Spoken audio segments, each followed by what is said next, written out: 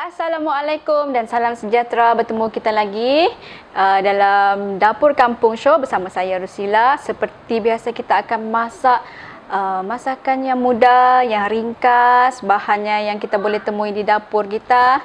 Okey, sebelum tu kita roll montage dulu.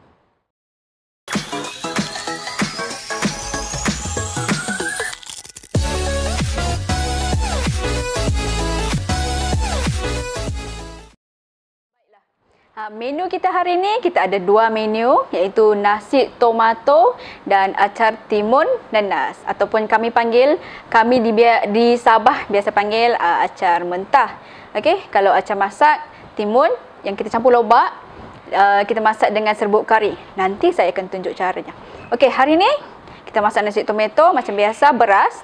Beras saya dah cuci dan toskan.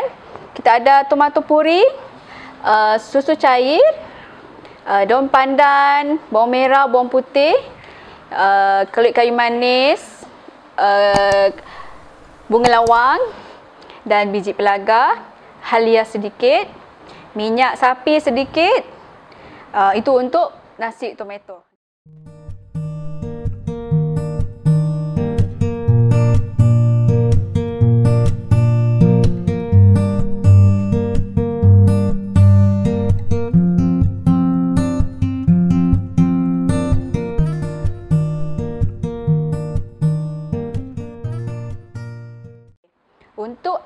Timun nenas, nama pun timun nenas, mestilah kita ada timun, kita ada nenas, kita ada bawang besar dengan cili besar. Okey, cili hidup, lada hidup. Ha, apa pun tak apa. Okey, jom kita masak.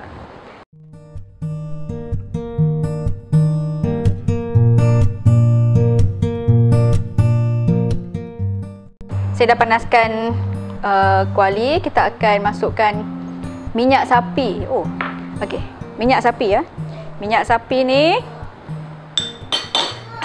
Okey, saya akan tambahkan sedikit minyak masak sebab uh, periuk nasi saya tu kalau guna semuanya minyak sapi dia akan hangit.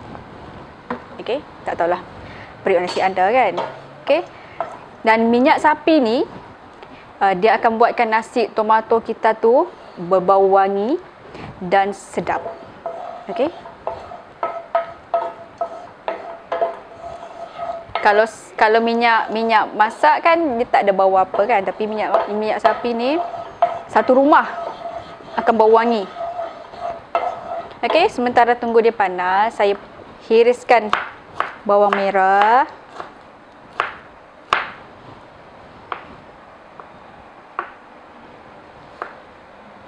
Bawang merah. Okey, kalau besar setengah pun cukup. Bawang putih. Okey. Okey, halia tu kita ketuk. Okey, kita cuba. Okey dah. Dah panas. Masukkan dulu bawang merah. Okey. Macam biasa yang saya ajar, masak sehingga garing. Okey, garing bukannya hangit. Supaya nasi tomato kita tu tak cepat basi. Bau sangat wangi dengan minyak sapi tu.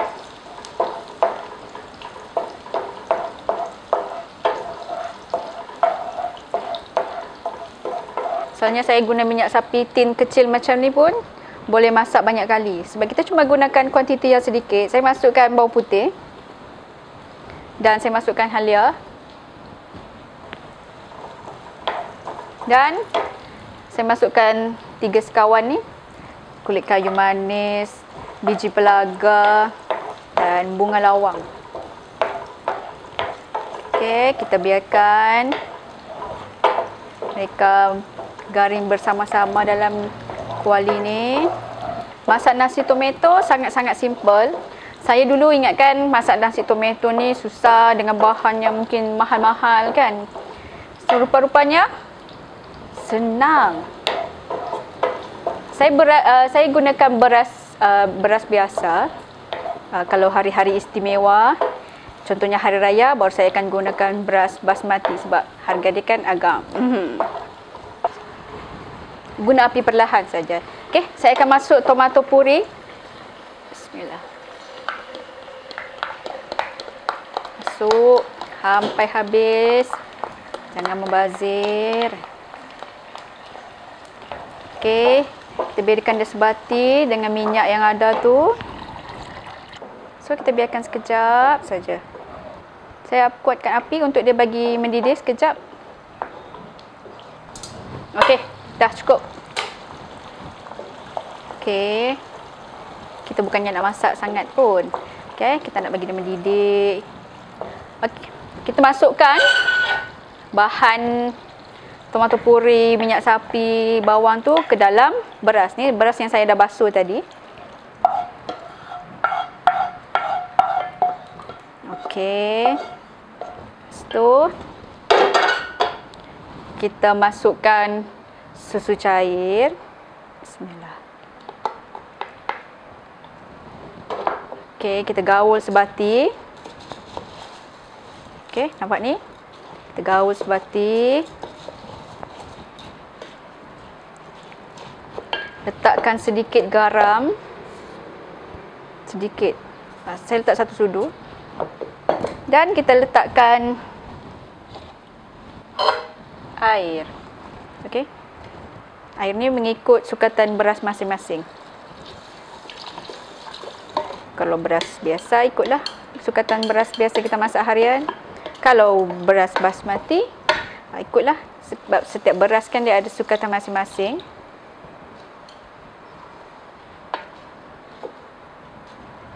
Okey sedikit lagi. Okey. Kemudian kita masukkan daun pandan nak bagi nasi kita tu wangi. Kemudian kita masak seperti biasa. Okey. Okey, baiklah. Okey, menu seterusnya kita akan masak um, acar timun nanas, acar mentah. Saya suka sebut acar mentah, okey? Okey, okey. Mula-mula, okey, macam biasa kita ada timun, bawang, nenas dengan lada besar. Lada hidup. Okey, tak apalah. Apa pun boleh. Okey, saya potong nenas dulu. Sekejap ya. Yang ini dah buang mata. Okey, saya... Okey. Sukatilah nak besar ke, nak kecil ke. Masuk dalam mangkuk besar ni. Okey, yang sedapnya guna nenas yang dah masak. Okey. Sepotong lagi. Okey.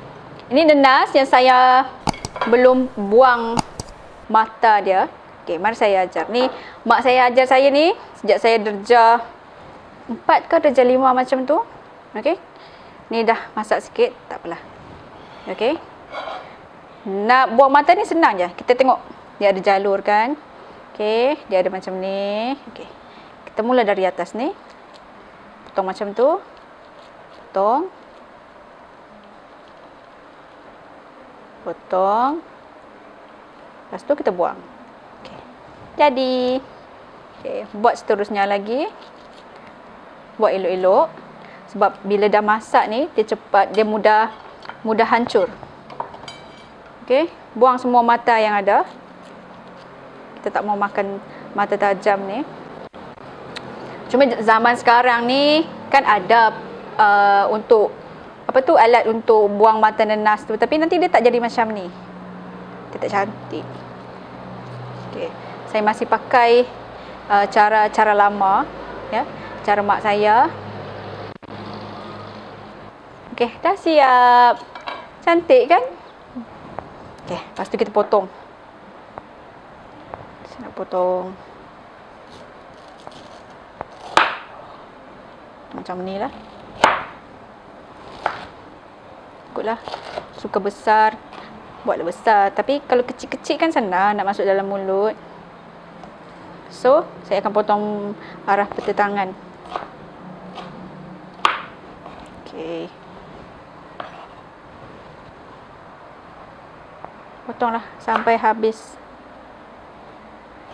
Kemudian kita potong bawang dululah. Saya cuba kita hiris bawang merah, eh bawang besar. Bawang ni manis tau.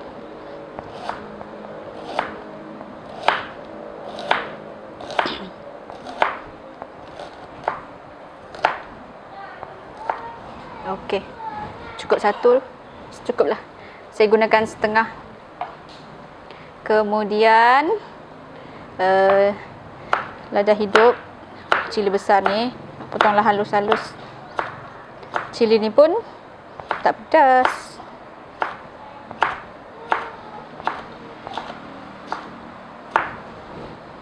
Okey.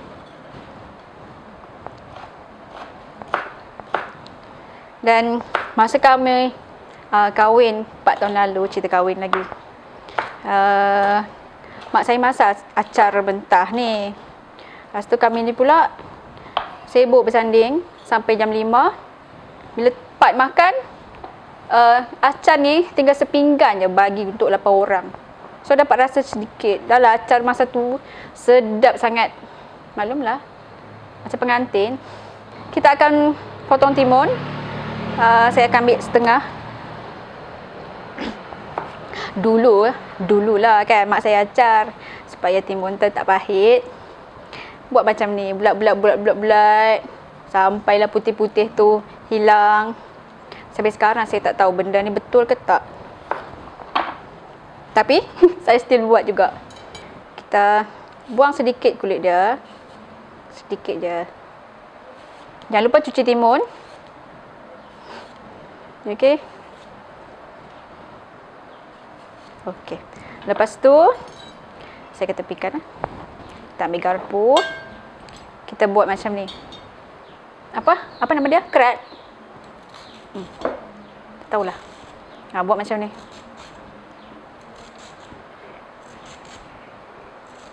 Hmm.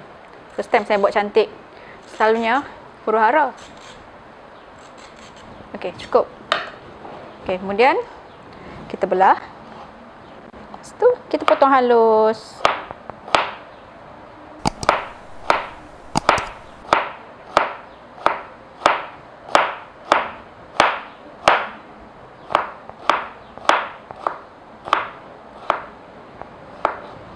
Okey, kita campurkan. Kita akan letak garam. Garam sedikit. Betul, sedikit je. Sedikit. Hmm. Okey. Tapi gula kena banyak.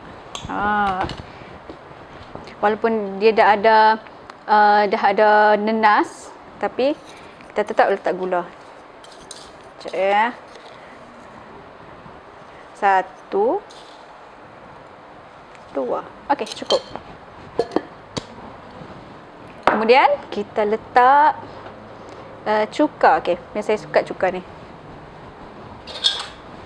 cuka jangan banyak sebab nanti dia apa dalam bahasa mak saya pedar dalam bahasa Melayu saya tak tahulah okey sebab cuka ni kan masam satu sudu satu sudu setengah okey cukup cukup kemudian kita gaul Okey. Kita gaul rata. Tengoklah rupa dia. Cantik kan? Ada hijau, ada kuning, ada merah, ada purple. Hmm. Baik untuk badan kita ni.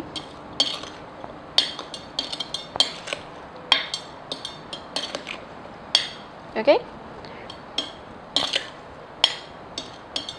Sementara tunggu nasi masak, saya akan masukkan ni dulu ke dalam peti sejuk sebab saya suka makan acar mentah ni kalau dia dah sejuk. Okey? Kita tunggu sebentar.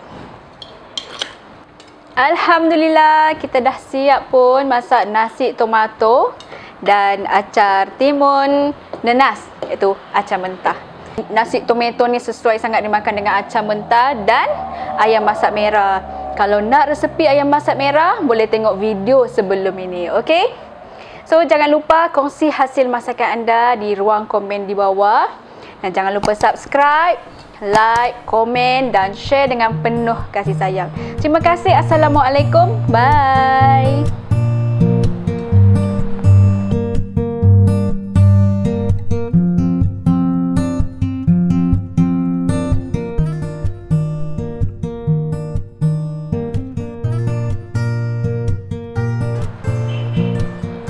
Pos laju.